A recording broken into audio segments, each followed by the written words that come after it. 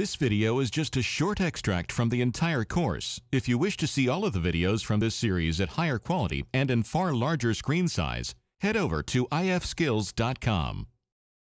To investigate the zoom capability of a crystal report, we're going to make use of the My First report, which is available in your working folder.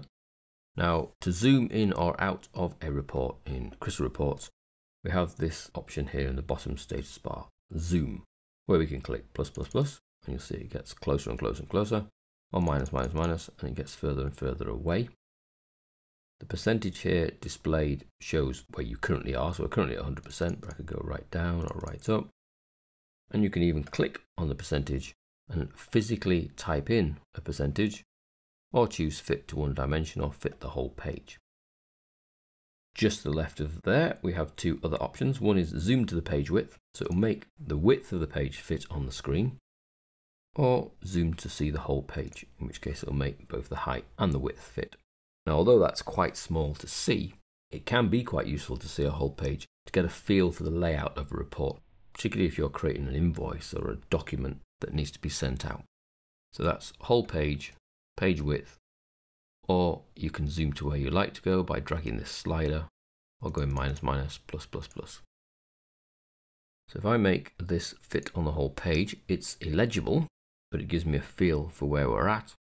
And then go into design, you'll see that design does not have the same zoom setting. It's still at 100%, which is where it was originally. So I could zoom in totally independently in design and preview. They retain their own zoom settings.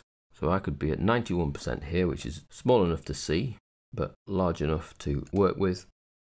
And then I go to preview to see how that's going to look in printing format. So that is quite hard to work with because it's tiny, but I could do all the work in design and then go to preview to see what it will look like. So you adjust the zoom settings down here on the bottom right by dragging the slider, clicking the plus or the minus, physically clicking on the percentage to set your setting, making it zoom to the page width, making it zoom to the whole page. Those exact same controls are available in preview and design and act independently of each other. And then the really big icing on the cake with the zoom options are that they are retained when you save and close a report.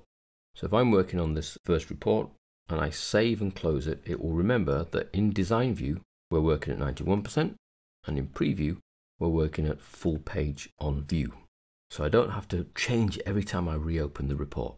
Any other report I open will be at the default of 100% in both views until we adjust them. Make saves, and those saves then retain the zoom settings, still independent of each other in preview and design.